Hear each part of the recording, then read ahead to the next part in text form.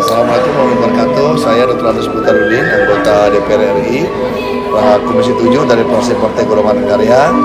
Eh, sangat mengapresiasi keberadaan Balai Diklat Industri dan Pasar.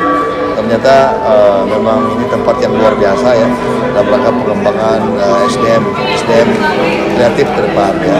Terus yang kedua uh, Balai Pasar ini harapan kita ya, harapan kita tentu bisa mencetak SDM SDM unggul bidang eh, industri kreatif ya kemudian digitalisasi ya animasi uh, sebagai industri kreatif masa depan ya.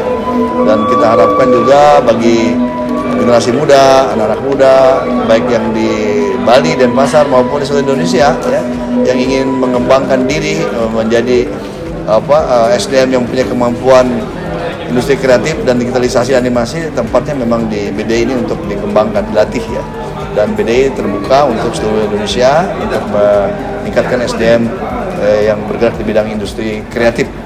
Dan industri kreatif ini eh, sesuatu industri yang memiliki masa depan yang baik ya apalagi digitalisasi. Ke depan adalah sebuah apa sebuah apa namanya sebuah kenyataan yang kita akan hadapi.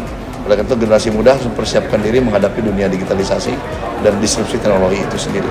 Pokoknya sukses deh, selamat, mantap nih, Dia dan Pasar, keren.